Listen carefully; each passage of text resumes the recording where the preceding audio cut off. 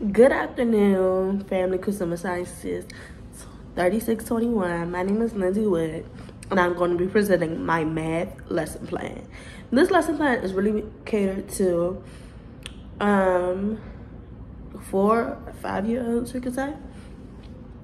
I will be coming off the Go CD 11 Children compare, sort, group, organize, and measure objects and create patterns in their everyday environment.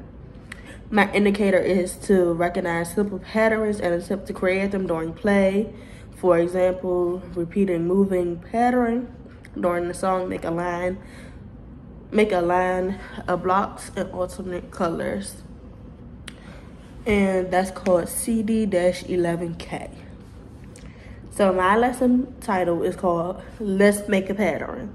The activity length is going to be, depending on how many students, it shouldn't take more than 30 minutes. My supplies is the colorful bear toys. It's a kit, um, copy pa white paper, crayons, and of course YouTube. So to how the activity will begin, the teacher will explain what is a pattern. Then uh, the teacher will make, well, will put on the YouTube video from this children this children channel called Learning Time Fun on I Love Patterns and the song goes over what is a pattern um, in a song type. Then the teacher will begin to demonstrate how to make a pattern with the colorful bear toys.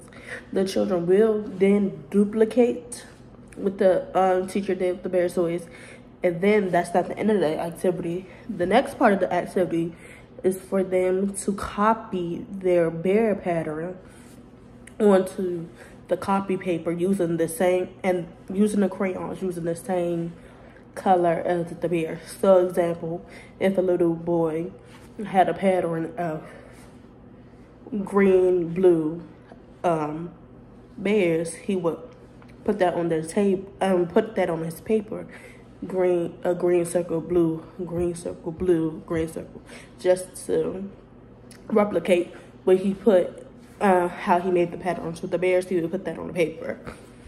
The four questions the instructor or I will ask to make sure that the students retain something is, can anyone tell me what a pattern is? Just to review the lesson. Then, can somebody make a pattern in the class? And student would probably say, um, um, probably not that beat because they're young, but we were trying to guide.